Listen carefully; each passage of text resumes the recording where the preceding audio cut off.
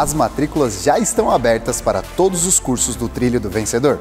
Basta procurar o seu pastor local para mais informações sobre o início das aulas de ceifeiros, maturidade no espírito e CTL. Em breve, a gente fala aqui sobre o seminário.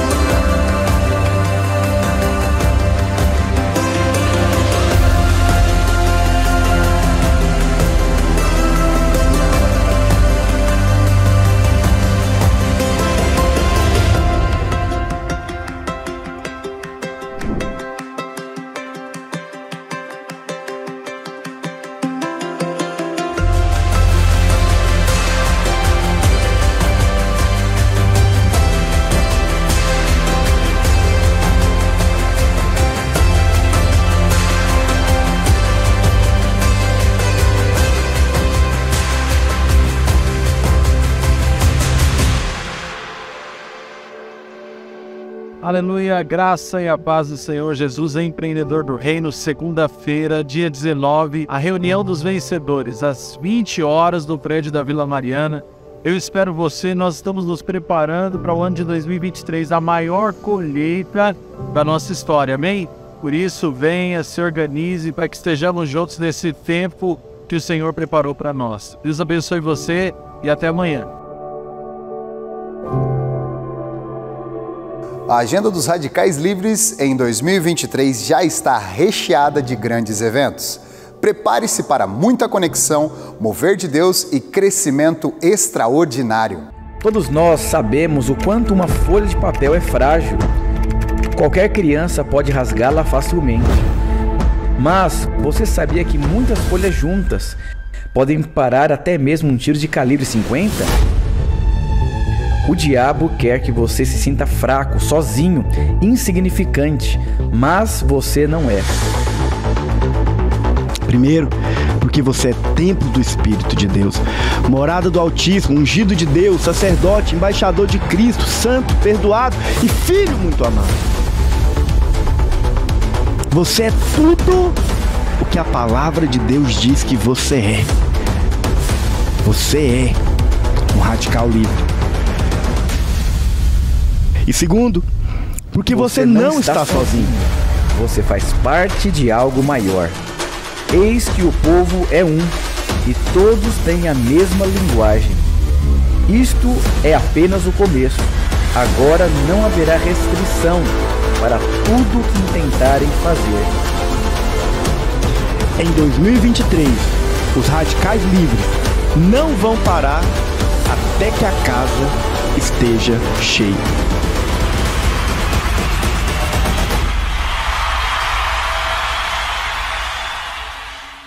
E daqui a duas semanas estaremos celebrando nos prédios da igreja nosso tradicional culto das primícias. Esteja com sua família consagrando 2023 a Deus e agradecendo por toda a providência do céu para você em 2022. Ano que vem, a gente sabe, será o ano da casa cheia. Queridos, a graça e a paz do Senhor Jesus. Nós estamos chegando no final do ano e você já sabe, você principalmente está conosco há mais de um ano, que toda virada de ano, dia 31 para o dia 1 nós temos o nosso culto das primícias.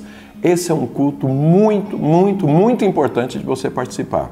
E como que é que você pode participar para desfrutar completamente desse culto? São três coisas que nós sempre insistimos, ensinamos e falamos. Por favor, faça isso. A primeira coisa é venha para esse culto com a sua lista de agradecimento do ano. Esse foi um ano abençoadíssimo, pode ter certeza disso.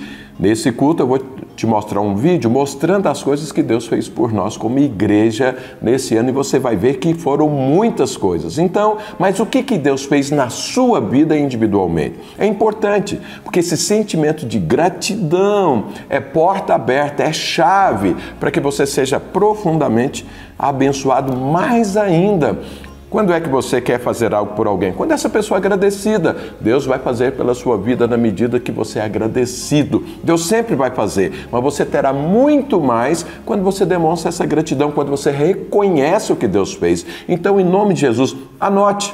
Anote o que, que Deus fez na minha vida, na minha família, à minha volta, por mim e pelos meus, por aqueles que eu amo, por aquilo que é importante para mim nesse ano. Anota isso para oferecer isso diante do Senhor nesse dia, no dia 31, dia de nós levantarmos um altar ao Senhor de agradecimento. Essa é a primeira coisa. Mas temos uma segunda, que é o quê? Bom, já que estamos começando um novo ano, então faça os seus alvos. O que, que Deus tem para você nesse próximo ano? Vou te falar, são coisas boas e muitas.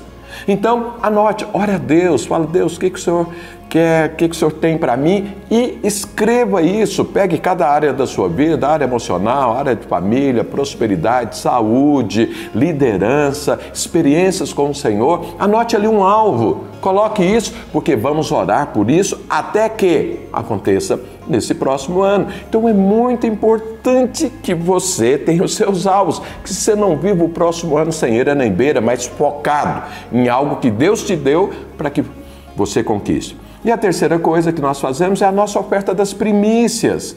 Queremos entrar o ano de uma forma generosa, agradecida, investindo no reino de Deus. Nós temos a nossa oferta da primícia, que é a primeira oferta que fazemos no ano. Lembra? A sua oferta te representa. A sua oferta representa o seu coração, a sua oferta representa a sua aliança com Deus. Então, em nome de Jesus Cristo, prepare essa oferta, porque no dia 31 para o dia 1, nós trazemos a nossa oferta das primícias ao Senhor. Assim, você deve vir para o culto. Não perca essa importância.